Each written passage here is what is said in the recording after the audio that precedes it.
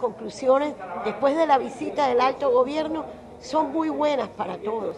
Lo primero, un mayor pie de fuerza, tanto de policía como de ejército, serán 400 nuevos hombres que vendrán de otros departamentos a fortalecer estas campañas pedagógicas en donde vamos casa a casa velando para que nuestra gente se recoja temprano en día de semana y los fines de semana permanezcan en casa.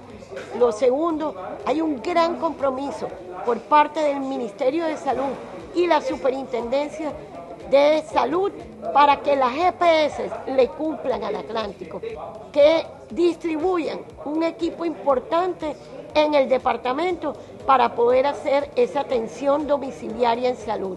Y tercero, dispondrán de unos hombres que van a acompañarnos en nuestras campañas pedagógicas.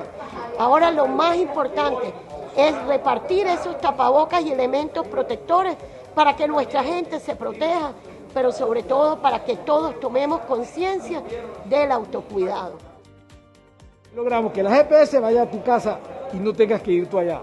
Que tienen que haber unos cercos, pero los cercos no pueden haberlos si no hay comida, si no hay mercado y hemos conseguido 120 mil mercados. Fortalecimiento en todas las comunidades para que las personas estén más formadas en la enfermedad, cercos epidemiológicos y todos trabajando juntos por una Barranquilla y un Atlántico mejor.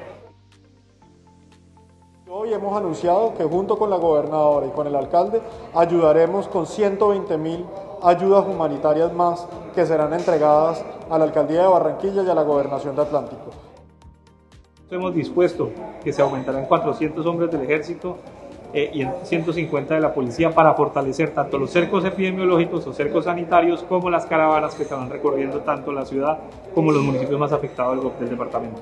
En Atlántico, si queremos, podemos.